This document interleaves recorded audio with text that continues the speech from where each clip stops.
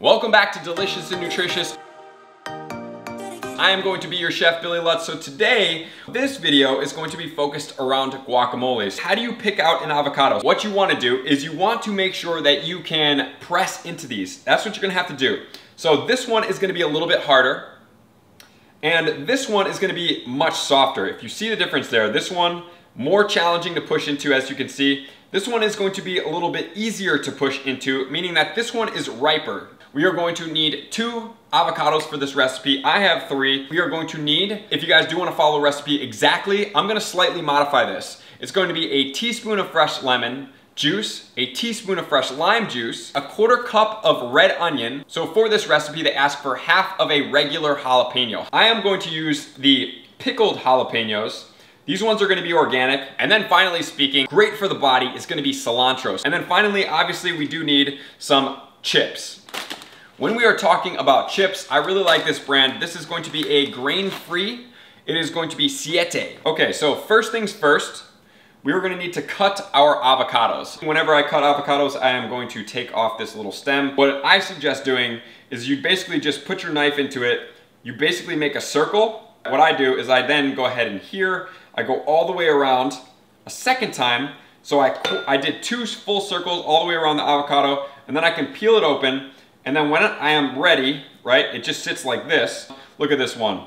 Man, that is how you want an avocado to look right there. It is literally perfect, comes right out, leaves absolutely nothing left. And the next step is going to be, you can decide if you want this in your guacamole or not, is going to be the lime and the lemon juice. When you do put this in, it really does change the guac. It puts much more of a sour bite to it.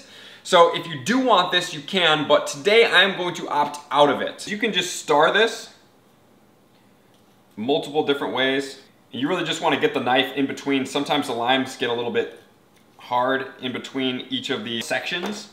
And then so I just go ahead and then squeeze it, put my fingers in there, and that's my really unofficial way of juicing a lime. We're gonna go ahead and start smashing this avocado.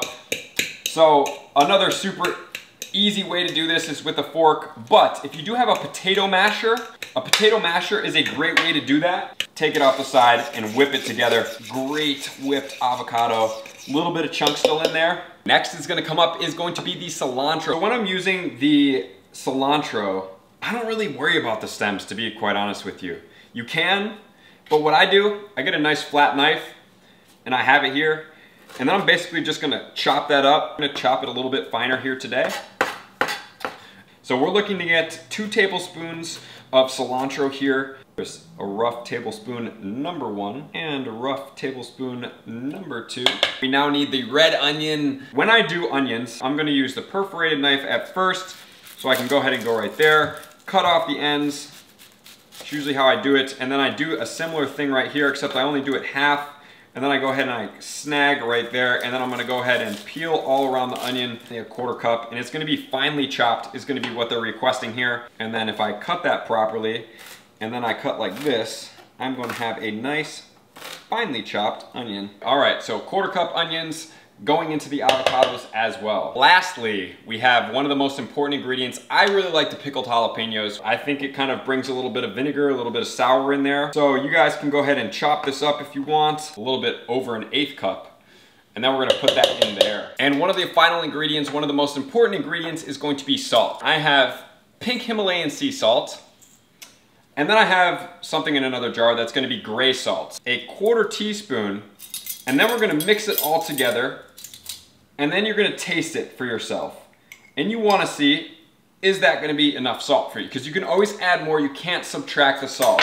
So I'm gonna go ahead and mix this up. Make sure to get those onions. And another thing, if you're trying to go really chunky on this guacamole, you're not gonna wanna mix it too much right up front because you're gonna have these onions in here and then you're gonna wanna mix these obviously in as well. The cool thing is, is if you have the lime and the lemon and you try this, you're like, mm, I would really like to have a little bit more of that citrusy, sour type feel to it as well. You can go ahead and add that in. You might wanna go just a little bit less on the salt, maybe a little bit under a quarter of a teaspoon, but honestly speaking, it's, it's really flavorful. I could definitely see some people wanting to have a little bit of that sourness added into it, but as of right now, that, that's extremely good. I, I really like that. Paired with your favorite siete chip, it's gonna be absolutely amazing. When you're eating guacamole, you really want kind of like a straight up and down edge as well. Just because when you scoop, this has more chance that the guacamole is gonna start falling out. So having those straight up and downs is really good. This is a for sure knock out of the park dish. Well, thank you for tuning in guys. I appreciate you guys making some tasty, delicious, good quality, good dense fat food that's going to be amazing for your Cinco de Mayo party. Make sure to share this video for anybody out there that's looking for an easy recipe to bring to a party. This guacamole is going to be a sure hit. It is in the pinned comments below for the complete recipe. I appreciate you guys for tuning in and I'm gonna see you guys out. We're gonna be cooking some more food very soon.